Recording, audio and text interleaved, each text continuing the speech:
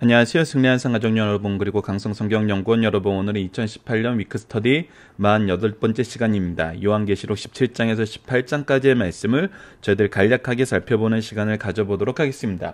우리가 지난주까지 내용을 통해서 어, 요한계시록에 나타나는 세 가지 종류의 재앙, 인재앙, 그리고 나팔 재앙, 그리고 대접 재앙으로 이어지는 내용을 다 살펴봤습니다. 그리고 나서 이 심판 일곱 번째 대접 재앙이 선언이 되고 난 다음에 나타나는 것이 바로 우리가 이번 주에 함께 나눌 부분입니다. 이번 주부터 우리가 마지막 22장까지는 두 장씩 굉장히 간단한 내용들을 우리에게 설명해 주고 있습니다. 오늘 그 부분을 우리가 함께 미리 한번 나눠보는 시간을 갖도록 하겠습니다. 먼저 우리가 이번 주에 나누게 되는 17, 18장에서는 바로 하나님의 심판이 어떤 것인지를 가르쳐 줍니다. 그리고 나서 19장에서 20장에는 우리의 승리가 무엇인지 가르쳐 주고 그리고 21장에서 22장까지는 영광 그 안에서 누리게 되는 어린 양 예수와 우리들의 영광에 대해서 가르쳐 줍니다.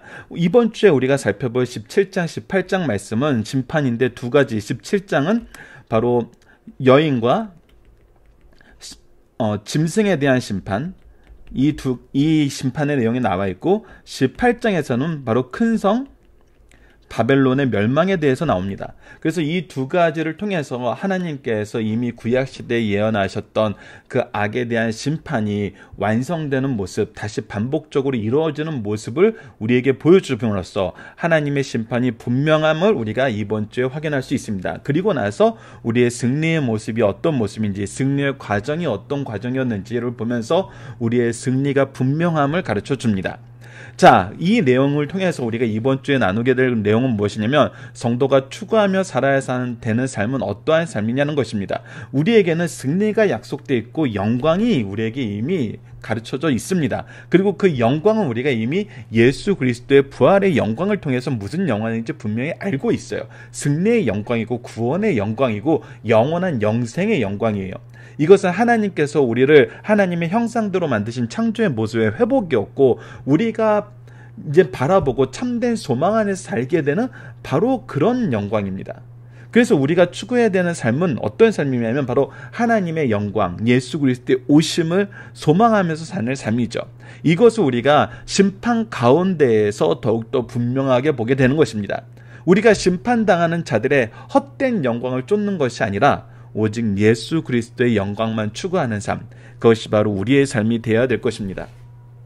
자, 그래서 이번 주 말씀은 월요일에는 큰 음료의 심판을 내게 보이래라 그러면서 이 음료의 심판에 대해서 그리고 적그리스도의 활동은 일시적이나 지배는 전 세계적이다라는 것이 바로 17장 이 짐승과 음료에 대한 내용을 우리가 하나씩 하나씩 보게 됩니다. 그리고 수요일부터는 18장으로 넘어가는데 바벨론을 심판하시는 하나님을 바로 섬겨야 됨을 그리고 목요일 날은 땅의 사람들도 흠모의 대상이 동정과 경멸의 대상이 되어서 바로 이 하나님의 심판으로 인해서 어떤 내용이 변하게 되는지를 우리가 보게 됩니 다. 돼요. 그리고 마지막 금요일에는 죄악의 세력은 어떠한 경우로 막론하고 다 망함을 즉 이 심판이 분명함을 우리에게 다시 한번 강조하는 말씀으로 이번 주 말씀은 구성되어 있습니다.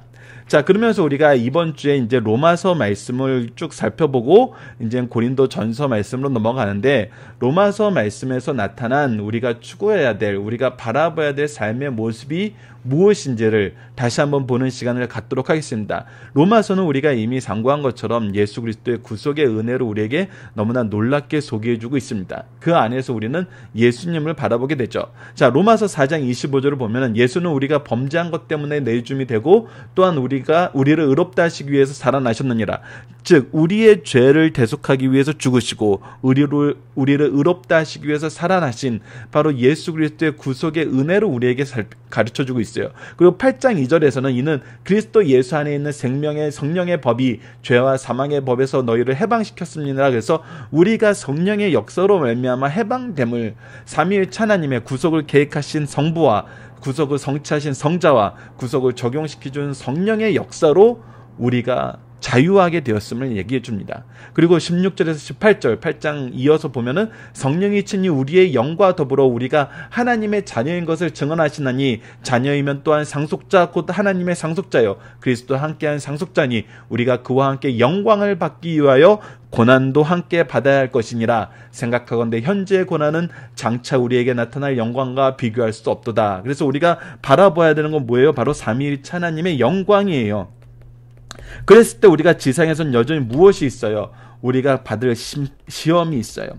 고난이 있어요. 이거는 우리가 요한계시록에서도 계속 확인하고 성경에서도 계속 얘기해 주는 거예요. 그러나 우리는 무엇을 바라보며 살아요? 바로 하나님의 영광을 바라보며 살고 우리를 도우시는 삼위일체 하나님의 역사가 있고 이 일을 위한 우리의 성도의 교제가 있고 교회가 있어요.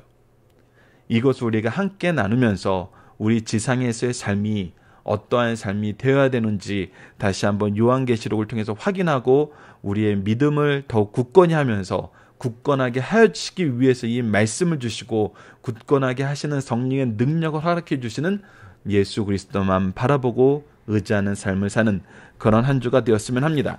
자, 아시다시피 우리 승리의 삶은 반응이신 박유일 목사님의 구속사로 조망한 성경 연속 강해집을 통해서 편집이 되어 있고 이번 주 내용은 요한계시록 2권 이제 앞으로 이제 12월까지 요한계시록 2권의 내용으로 우리가 쭉 살펴보게 됩니다.